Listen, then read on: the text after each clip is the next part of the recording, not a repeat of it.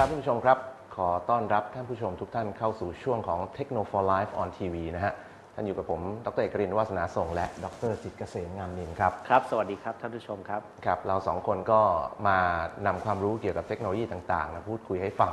นะครับ เราสองคนจริงๆ แล้วถนัด กับการจัดรายการวิทยุด้วยนะฮะมากกว่าด้วยซ้ำมากกว่าฮะเพราะว่าเราจัดรายการวิทยุมา 4 ปีนะฮะเป็นรายการเกี่ยวกับเทคโนโลยี ชื่อว่า Techno for Life ครับที่คืออสมทครับ ชื่อเหมือนกับรายการเรานี่แหละใช่แต่ว่าครับเราเลยใช้ชื่อ Techno for Life on TV นะฮะเพราะฉะนั้นก็ท่านผู้ท่านผู้ชมเนี่ยที่ต้องการจะลองรับฟังดูบ้างเนี่ยนะครับก็เรียนเชิญเข้าไปที่ FM 99 อสมทได้นะครับ4โมงจนถึง5โมงเย็นนะฮะทุกวันจันทร์ถึงศุกร์ ใช่ครับ แต่เราสองคนจะจัดเกี่ยวกับเทคโนโลยีเนี่ยเฉพาะวันพุธวันเดียวนะครับ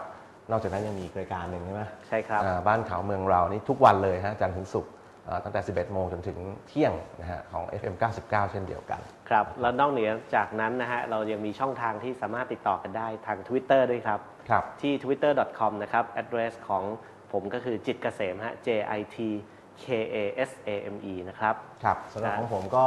ดรเอกรินนะฮะ D R E K A R I N นะฮะเข้าครับไป twitter.com แล้วก็ไป follow กันได้ครับสบายสบายๆงั้นในครัช่วงเอ่อที่อยู่นอกเหนือเวลาออกอากาศนะครับ เราก็รับยังคุยกันได้ใช่ กับเอ่อตลอด 24 ชั่วโมงถูกต้อง นะฮะ นอกจากนั้นเอ่อ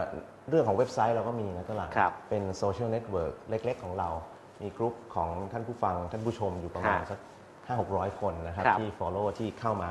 มี discuss กันอยู่เป็นประจำ ก็คือที่ technoforlife.ning.com นะฮะ t e c h n o f o r l i f e n i n g com ครับนะช้าๆอีกทีครับตัวเองเดี๋ยวเขาขึ้นไฮไลท์ให้โอเคชุดแหมอันนี้เราไม่ได้จัดวิทยุอ้าวเข้าเรื่องของวันนี้ดีกว่าครับทุกท่านครับวันนี้เรามีเรื่องอะไรมาให้เราคุยก็ช่วงนี้เป็นช่วง summer แล้วตัวเองเป็นช่วงครับหน้าร้อนนะฮะครับถ้าไม่ค่อยมีเมฆไม่ค่อยมีเมฆครับท้องฟ้าปลอดโปร่งครับนะฮะ ถ้าเป็นสมัยเราเด็กๆเนี่ยนะฮะก็อืมมองขึ้นไปบนท้องฟ้าก็จะเห็นดวงดาวระยิบระยับมากมาย ครับ สมัยนี้เห็นไหมฮะ เดี๋ยวนี้แหละฮะในกรุงเทพคงมองไม่ค่อยเห็นหรอกครับ อ่าครับ เพราะว่าตึกรามบ้านช่องของเรานี่มีแสงสว่างเยอะ อ่าก็น่าอิจฉาสำหรับคนที่ไม่ได้อยู่ที่กรุงเทพนะฮะถูกต้องคนที่อยู่บนดอยเดี๋ยวนี้ไปใช่ดูดวงดาวอะไรกันเขาก็ไปขึ้นไปบนเขาบนดอย ไปเขาใหญ่ใช่ อ่าซึ่งเพิ่งครับ ผมเพิ่งไปมาในช่วงสงกรานต์นะฮะ ฮะ ก็ไปดูดาวเห็นชัดทีเดียวแล้วตลาดชัดไหมแถวนั้นแถวนั้นเพราะว่า แสงสว่างยังคงน้อยอยู่ ครับ แล้วครับ ท่านผู้ฟังเคยสงสัยไหมฮะว่าเอ่อจริง ๆ เราเรียนกันมาว่าสุริยะจักรวาลของเราเนี่ยมีดาวอยู่ 9 ดวงอืมนะฮะแต่ทำไมบนท้องฟ้าเนี่ยมันถึงระยิบระยับเต็มไปหมดนะฮะ โอ้คือถ้านับเนี่ยผมว่านับไม่ถ้วนนับไม่ถ้วน ครับ ก็เพราะว่าโลกของเราเนี่ยนะครับไม่ได้อยู่ในเอ่อจักรวาลใบนี้ แต่เพียงใบเดียว หรืออมสุริยะจักรวาลไม่ได้อยู่แต่เพียงสุริยะจักรวาลเดียวเท่านั้นในจักรวาลอันกว้างใหญ่อันนี้นะฮะครับ จริง ๆ แล้วมีอีกตั้งหลายจักรวาล เรียกว่าคือถ้าเรามองภาพรวมของจักรวาลเนี่ยนะครับ เราคิดว่าจักรวาลของเราเนี่ยนะใหญ่มากแล้วเนี่ยนะครับ แต่จริงๆ แล้วจักรวาลของเราเนี่ยเป็นแค่ส่วนเล็กๆ ตรงขอบขอบๆของเออระบบเขาเรียกกาแล็กซีทางช้างเผือก ครับนะฮะกาแล็กซีทางช้างเผือกนี่มีลักษณะเป็นโค้งๆกลมๆเหมือนก้นหอยลักษณะใช่ครับของเรานี่อยู่ตรงขอบขอบๆสุริยะของเราเนี่ยนะครับอยู่ตรงขอบขอบๆของกาแล็กซีทางช้างเผือกอืมนะและกาแล็กซีทางช้างเผือกนี่ก็เป็นส่วนหนึ่งของเอกภพที่เราเรียกว่าคอสมอสหรือยูครันิบเวิร์สเนี่ยแหละฮะฮะคือไอตัวเอกภพเนี่ยมันใหญ่มากขนาดที่ว่ามันบรรจุเอ่อ ลักษณะของของไอสุเอ่อเขาเรียกอะไรนะ Galaxy แบบนี้เนี่ยแบบทางเป็นช้างเผือกแสนล้านกาแล็กซี่รวมเยอะอยู่มากในอยู่ในเอกภพ ครับ เพราะฉะนั้นเราจะเห็นว่าโลกเราเนี่ยถ้ามองกันจริง ๆ มันเหมือนจุดเล็ก ๆ ของของอวกาศแค่นั้นเองใช่ครับ ซึ่งมีหลายส่วนมากที่เรายังไม่สามารถจะไปถึงได้ ถูกต้อง ปัจจุบันนี้ถ้าจำไม่ผิดนะฮะตัวเลขของการสำรวจโดยการส่องกล้องของเราออกไปเนี่ยได้ไม่ถึงประมาณสัก คือระระดับเป็นแสนปีแสนเท่านั้นเองใช่ครับนะฮะครับแล้วดรเอกเคยสงสัยไหมฮะท่านผู้ท่านผู้ชมเคยสงสัยไหมว่า แล้วเรามองเห็นครับ ตัวกาแล็กซีตัวดวงดาวต่างๆ อย่างเหล่านั้นได้อย่างไรทำไมเราอืมถึงแน่ใจได้ว่ามีกาแล็กซีแบบทางช้างเผือกแบบนี้นะฮะอืมอยู่อีกเยอะมากมายนับไม่ผมถ้วนเชื่อว่าจะต้องมีกล้องครับใช่ครับถูกต้อง ถ้าใคร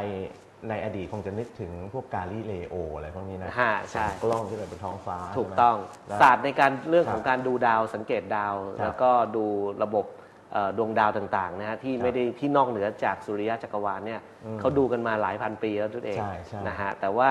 ที่เรารู้แน่ชัดเลยว่าเอ่อเรามีกาแล็กซีเอกภพของเราเนี่ยมีจากกาแล็กซีแบบทางช้างเผือกอีกเยอะมากๆเนี่ยก็เพราะว่า เรามีกล้องที่ค่อนข้างดีทีเดียว เขาเรียกกล้องโทรทัศน์ใช่ไหมกล้องโทรทัศน์ฮะ อืมถ้าใครนึกภาพออกก็คงต้องนึกถึงเอ่อลักษณะของกล้องของของอาคารที่เป็นลักษณะเป็นโดมนะฮะใช่ใช่แล้วมีช่องอยู่นะแล้วอ่ากล้องนี้ก็สามารถจะแพน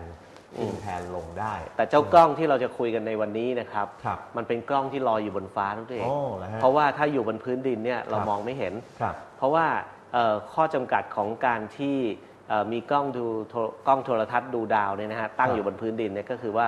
เวลากล้องส่องออกไปในท้องฟ้าแล้วเนี่ย เราจะไปเจอก้อนเมฆไงอืม แล้วก็แทนที่เราจะเห็นดาวล้วนๆเนี่ยเราไปเห็นก้อนเมฆซะเยอะเลยเพราะฉะนั้นฮวิธีการง่ายที่สุดก็คือส่งกล้องเนี่ยขึ้นไปอยู่บนอวกาศซะ ถูกต้อง ซึ่งตอนนี้เรามีตัวที่ดังมากก็คือกล้องโทรทรรศน์ฮับเบิลใช่ไหม Hubble ฮะอ่าฮับเบิลนี่มาจากไหนชื่อนี้ เอ่อมาจากผู้เอ่อนักวิทยาศาสตร์ชาวอเมริกันซึ่งก็ที่มีนามสกุลฮับเบิลนี่แหละ ฮาร์เบอร์ใช่ฮะอืม เขาเป็นคนที่เอ่อสังเกตพ วกเรื่องของกาแล็กซีเรื่องของดวงดาวครับบนท้องฟ้าได้ครับอ่าอย่างแม่นยำนะฮะครับเอ่อหลังจากนั้นเนี่ยพอมนุษยชาติได้ส่ง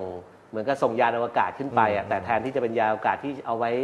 ถ่ายทอดสัญญาณผ่านดาวเทียมเนี่ยครับแต่เป็นยานอวกาศที่ติดติดกล้องไว้โทรทรรศน์อ่าไว้เป็นยานดาวเทียมที่ติดกล้องโทรทรรศน์ไว้อืม นะฮะแล้วก็โคจรอยู่รอบโลก นี่เนี่ยครับ หน้าที่ของเขาก็คือทุกตลอดวินาที ทุก ๆ วินาทีที่เขาหมุนไปรอบโลกเนี่ยเขาหันตัวกล้องเนี่ย ออกไปในอวกาศ